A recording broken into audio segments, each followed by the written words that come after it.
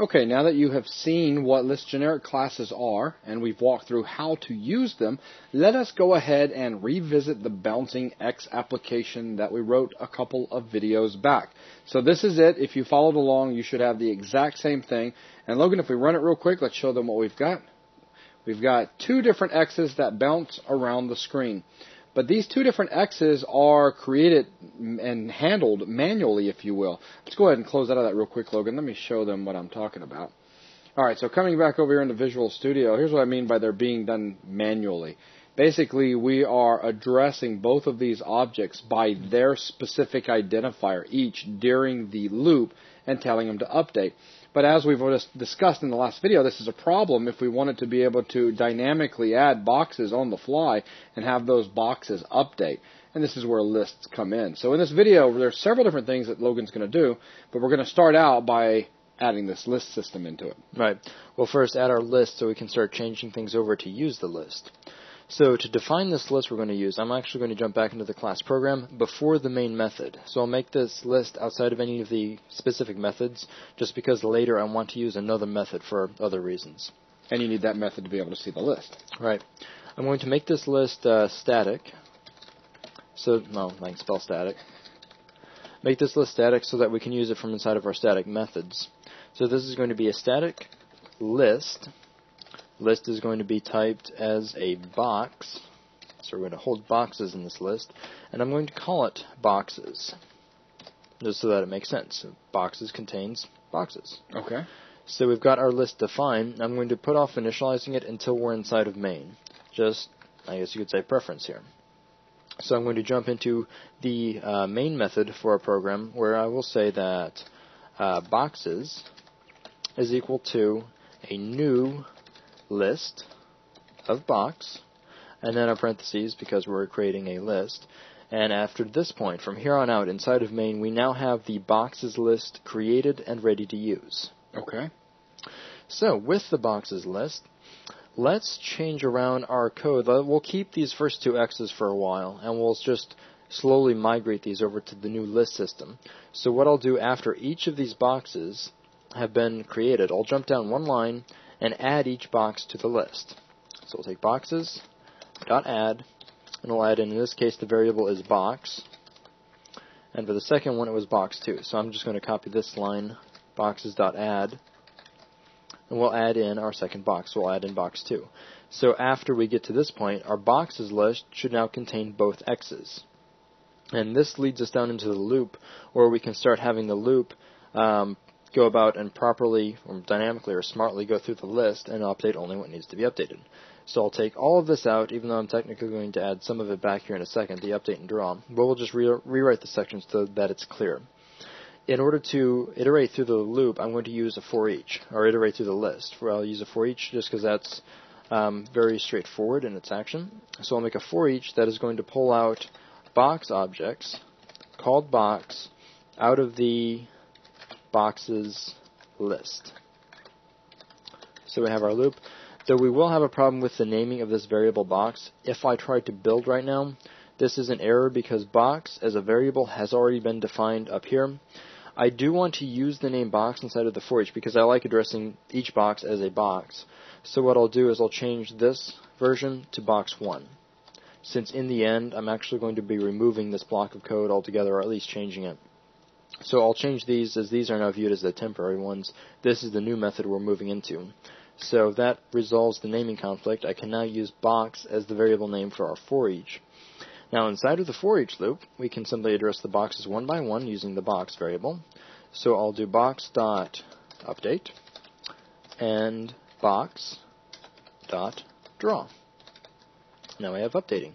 Though it's we only have to type out the code for one box, but thanks to the for each, this gets applied to all boxes.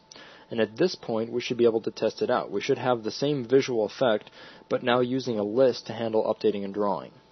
So let's run, and there we go, same visual effect. Looks good. And the nice thing now is that, um, let me change the code around to make it a little bit more modular so we can start to see the power of using the list in this method.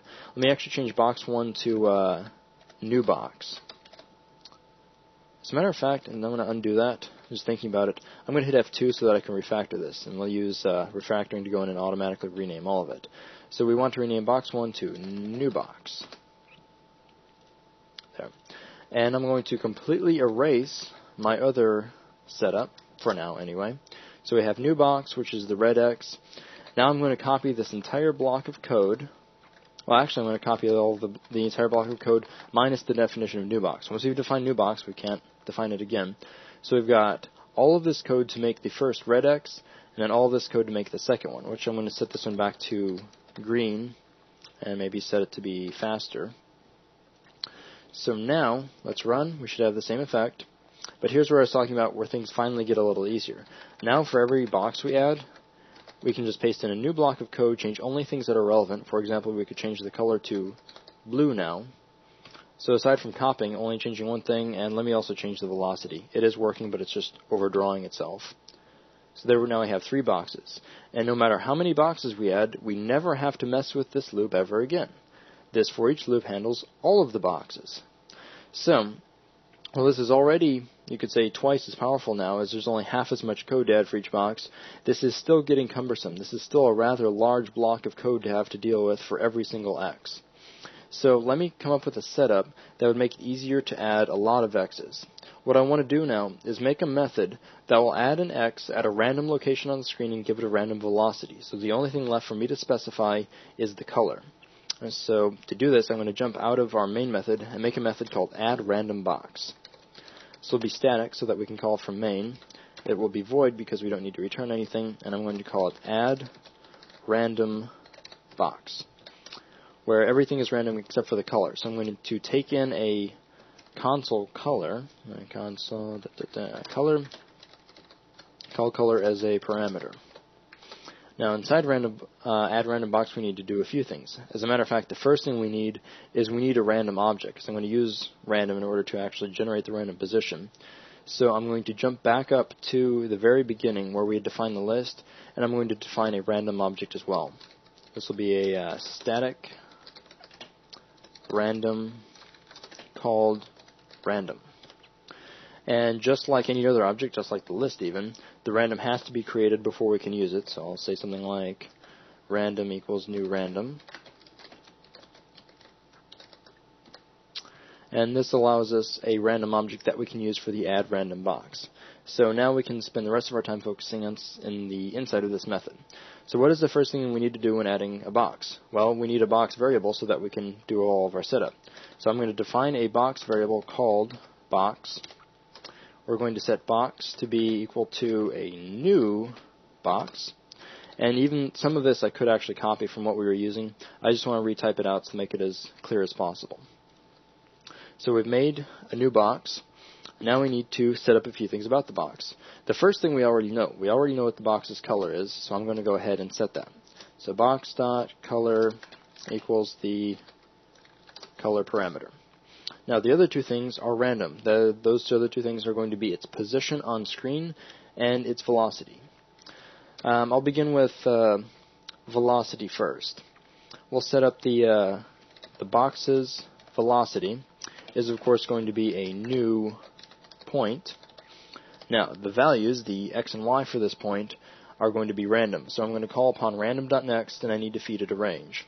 So let's focus on x first. x is going to be random dot next.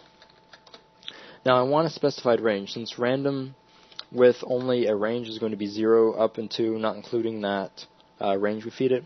I don't want to have a random a velocity of 0 in either way because 0 means not moving in this case. I want there to be at least some movement. So I'm going to specify 1 as our lower range and then for our max value I'll do 4.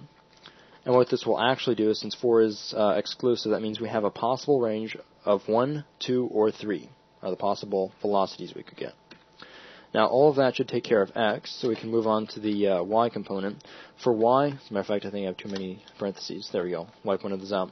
For y, I'll copy the random code and simply paste it in for y. So we have 1 through 3 that x could be and 1 through 3 that y could be. And that should take care of giving us a random velocity. Now we need to look at random position. So we can begin with box.position is equal to, position is also a point, so a new point. Now, for a random position, what does that mean? That means a random location that is on screen. So I'm going to be using random again, but for the range, I'm going to be using our console's window width and our console's window height. That will give us the full range of the visible screen. So we can begin with a random dot next. I don't care if this one reaches zero because zero zero is a valid visible position at the top left of the screen. So I don't need to worry about specifying a lower bound or a min value. I'm simply going to specify a max value. And that max value, since this is x, is going to be console, well not console color, but console dot window width. So that will give us 0 to whatever the uh, or whatever width is minus 1 because it's exclusive and mm, not inclusive. So that should take care of the range for the x position. So I'll copy that block of code for the random and we'll change the uh, y component to be window height instead of width. And so all of that should give us a random position that is on screen. And really, I think that takes care of everything we need in setting up the box itself. There's only one thing left to do, and that is to take this new box and add it into our list. So that is simply boxes.add. We'll add in the box. Alright, that should take care of random, add random box. I'll build now to make sure that I haven't introduced any errors and everything is looking fine. So let's jump back up and test it. Let's um, let's actually take out some of our boxes. As a matter of fact, I'll take out all but one. So if we build now, we have that one manually created box, which was the first uh, X. Now let's try out our add random box. We'll add random box for a console color of blue. So is this working? Not yet. Let's look at what could possibly be causing this to not work. We've got our color being set up. We've got our box being added into the boxes list. Let me think for just a second. We've got everything goes into here. Let me actually set a breakpoint on the uh, for each, just because I want to look at boxes for a second. We've got two boxes. The other one is blue, and its location. It has a valid velocity. It has a valid location. And I think what's happening is in the previous lesson, we actually set this up so the boxes have a specific character. And there we go. That's actually what's missing. Let me stop the uh, the process. That's the line that was missed. So I guess in the end, I should have just copied this whole block and reused it. Because what's happening here is down in this add random box, I never specify a character. So let me set the uh, boxes character to X, and then all should be well. Alright? So now we build, and character is not a string, it's a character, so I have to use single quotes. And there we go. Now I have our blue box being added as a random box. So now if we want a lot more of these random boxes, it's a lot easier. If I copy and paste this line several times, hey, look at that. Now we've got a lot of randomly positioned and moving boxes. But things actually get even more interesting than this. Let's take this back a few. Let me just create three boxes and let me give them all different colors. So we have a nice random assortment going. Let's have things like a uh, red, yellow, and white set of boxes. So that looks pretty interesting. Got a few boxes. Now let's say we suddenly decided that we want five times as many red, yellow, and white boxes. Well, let's actually start putting box creation into a loop. I'll make a simple for loop where we have maybe something like 0, so i equals 0 to i is less than 5. So we have 5 boxes, and then increment i for every iteration of the loop. So there we go. No more than three lines of add random box code where we simply use a loop, and now we have a lot of boxes. Very nice. So now the creation of boxes has become highly automated. So a simple control structure gives us a screen filled with boxes. But what's cool is that since there's no specific right way to create a box, we can still create boxes however we want. We can keep this custom one. And I can actually show it off a little bit better by changing this one to blue. So we have a completely custom box. So everything was hand created. And it exists right there. Whereas we have this whole field of randomly created red, white, and yellow boxes.